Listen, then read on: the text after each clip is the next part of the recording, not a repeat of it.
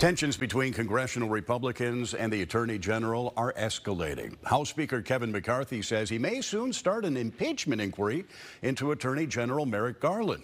This after Republicans released testimony from two IRS officials who alleged the Justice Department had a heavy hand in protecting the president's son, Hunter, during the federal investigation into his tax and gun related crimes. Now, Garland says that is simply not true.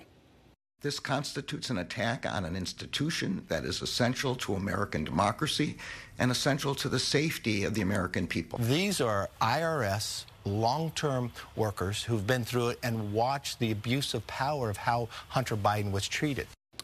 Hunter Biden is scheduled to appear before a federal judge next month in connection with his plea agreement on tax charges.